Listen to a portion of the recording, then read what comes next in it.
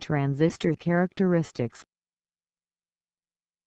Welcome to my tutorial on transistor. Please subscribe my channel for regular weekly videos. The transistor characteristics consists of many details in which you can understand basic needs of transistor that how it works basically I can say this is a basic thing in which you can understand transistor operation properly and also the flow of transistor is mainly suggested in this article which you can see right below here. The slope of the graph and transfer characteristic is called graph of I slash IBE here characteristic graphs can be drawn to show the transistor parameters and are used with the performance of device and also shows the design of amplifiers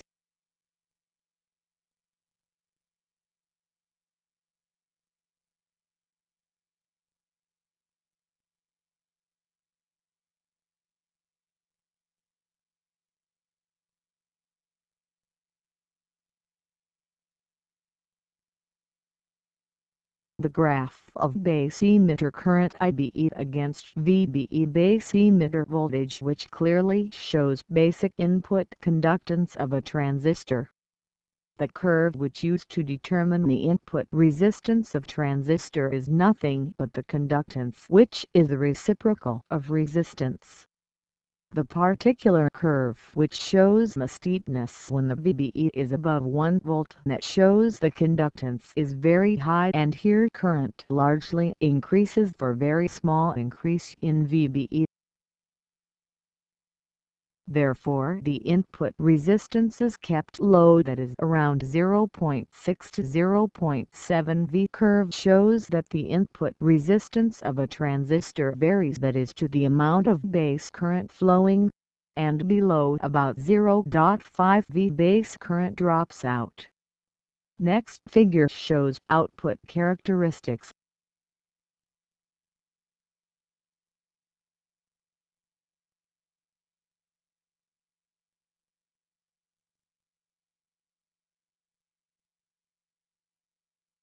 It requires single-phase clock with 33% duty cycle to provide internal timing.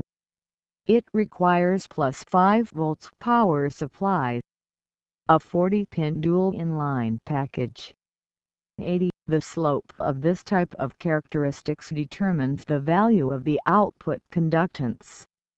The change in the graph lines shows the collector emitter voltage has almost no effect on collector current in this region.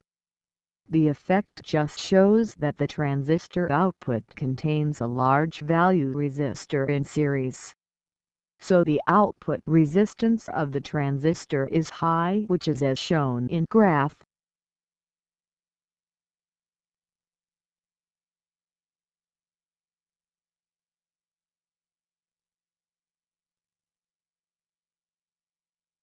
The characteristic graphs shows that, for a silicon transistor with an input applied between base and emitter, and output taken between collector and emitter one would expect low input resistance from the input characteristic, fairly high gain from the transfer characteristic, high output resistance from the output characteristic,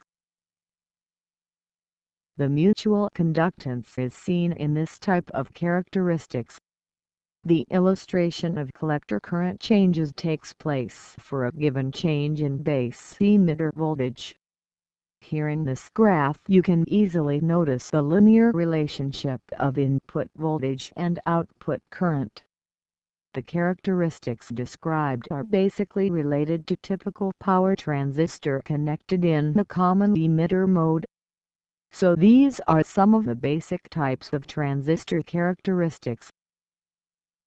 In coming sessions I am going to explain about the transistors and various operations, including the circuits and functions of the transistor so stay tuned. Don't forget to subscribe to my channel for next updates. Thanks for liking the video. Sharing is caring. Please share this video on your Facebook and Twitter profiles. Thank you. Meet you in next session 3.